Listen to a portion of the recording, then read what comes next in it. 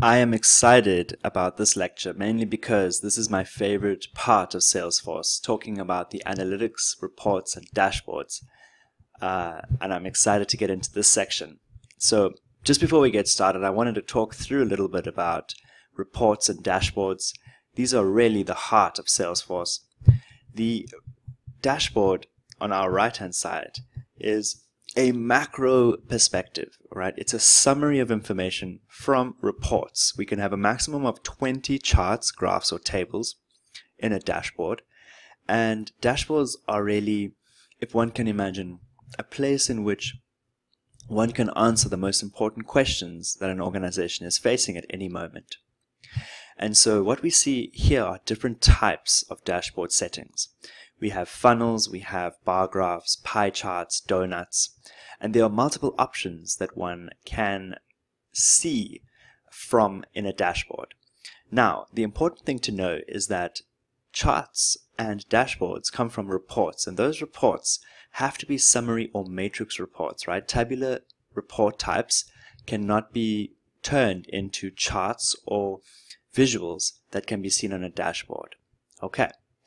Now, I'll talk a little bit more about dashboards in the content section, but let's look at a report. We have the report type at the top, and you have three main features of a report in Salesforce. The first one, I would say, on the left-hand side is the fields.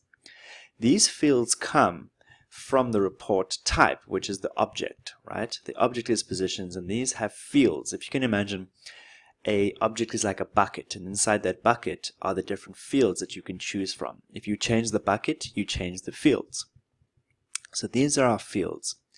At the top, we have what we call the filters. So filters filter and, and sort information for us. And then at the bottom here, the third section, we have the preview pane, what we see in Salesforce.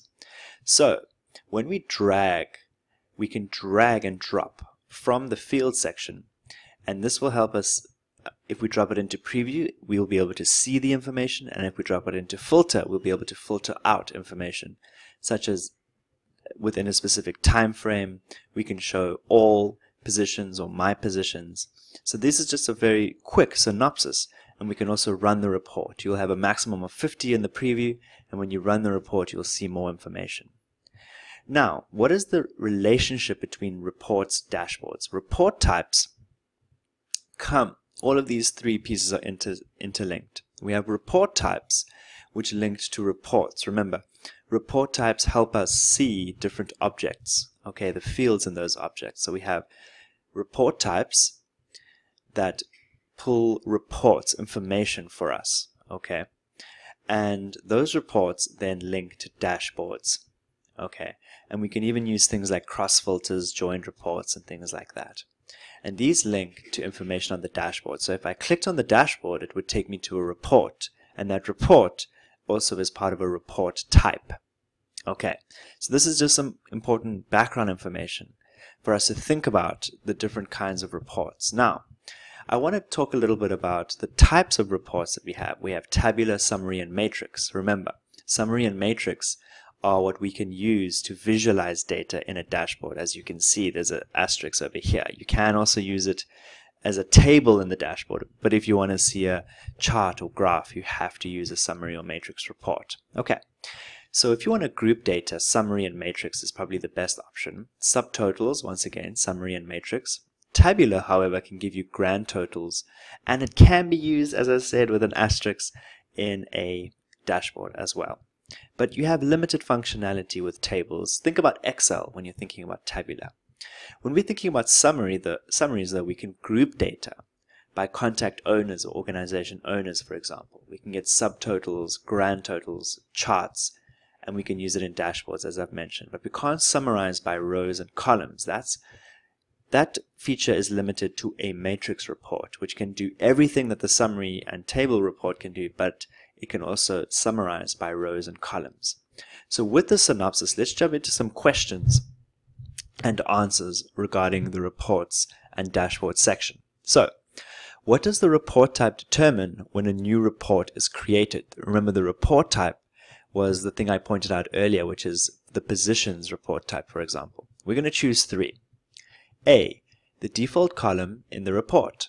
B. The fields available to include in the report. C. Whether the report will be tabular, summary, or matrix. D. The object included in the report. Or E. Whether the report can be displayed in a dashboard. So, we're talking specifically about a report type. Okay. First things first, the report type, remember, determines the kind of fields that we will see in this report. Okay. The report type will not determine whether it's a summary or matrix. It will include the object. So let's take a look. It'll tell us the default columns in the report, as I've just mentioned. It'll also tell us about the fields in the report, and finally the object in the report. Remember, whether the report can be displayed in a dashboard comes down to whether it is a table, summary, or matrix, which applies to all kinds of reports. We are not talking about how the information will be displayed, whether it will be grouped, whether it will be summarized. Those can be done across all report types. What we are talking about is the object, the bucket that we are in. And the bucket tells us the default columns, the fields, and the object. A marketing manager needs to view summary metrics across a set of related campaigns. How can this be accomplished? A summary metric, okay? A. Establish the campaign influence between related campaigns. B. Build a lead source report to summarize the campaign metrics. C. Create a cross-object formula field to calculate summary metrics. D. Create a campaign hierarchy and include the related campaigns. Now I've included this question in the reports and dashboards section because it's a, a, a, question that cuts across multiple options. All right, so let's look at the options that we have available to us. So the person wants to view summary metrics across a set of related campaigns. Campaigns is the object type. Now, in this case, what we would do is actually create a campaign hierarchy and include the related campaigns, right? So this is related to the hierarchies, but uh, the reason why I included it in this section was because a lot of the answers make you think about a report, all right? So in this case right here. All right, what is available when creating list views? Now, a list view looks like below, all right, where we have the person's name and we're able to actually do things like mass edit. So if we use this, we could actually select all and edit this. We could also create a new view which would work similarly to a report, and we can use the pencil to edit inline. So what is available when creating list views? A. List views can be filtered by record ownership. B. List views can be filtered by tags. C. List views can be filtered using AND or AND not filters. List views can be filtered by re record owner profile.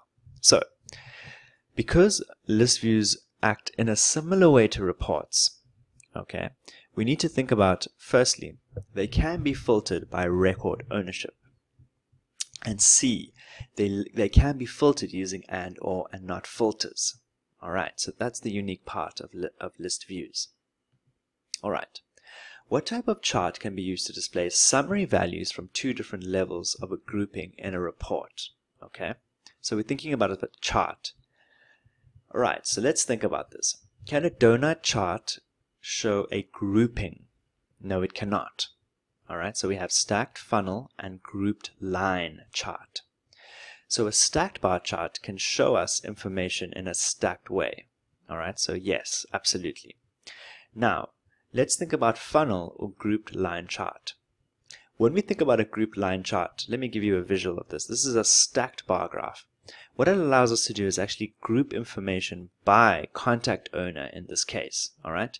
The grouped line chart helps us do the exact same thing. All right. And notice here we have the information, and this is an example of a matrix report. Okay. And this matrix report gives us the grand total, and it summarizes this by call result and assigned. And so notice how these are grouped. Okay. If a Salesforce object is a table, then each row represents what? A field related object, related list or object, or record. So if a Salesforce object is in a table, then each row represents a record. So let's look at a table. And I'm going to look specifically at this, right? So this is a record each of these are records, right? They're not fields. If we were talking about a column, what would each column represent? That would be a field, okay? The object is the report type that's linked to the report type. and the related lists is not um, applicable to the situation. Okay. Which functionality is available when enhanced lists are enabled? Choose two. So A, create new records from a list view. B, calculate the sum of a number field displayed in a list view. C, edit dependent pick lists inline from a list view. And D, edit multiple records from a list view. So let's take a moment to think about what the possibilities are here.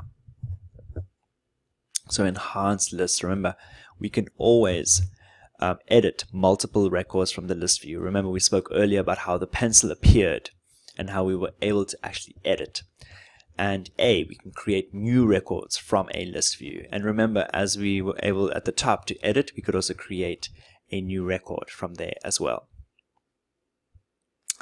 All right, which statement about custom summary formulas in reports is true? Choose two answers. So custom summary formulas, all right? Reports can be grouped by a custom summary formula result. Custom summary formulas can reference a formula field within a report. Custom summary formulas can reference another custom summary formula. And D, custom summary formulas can be used in a report built from a custom report type. So we already know D is true, right? They can be built in a custom report type. So we're looking at C, B, or A. Okay.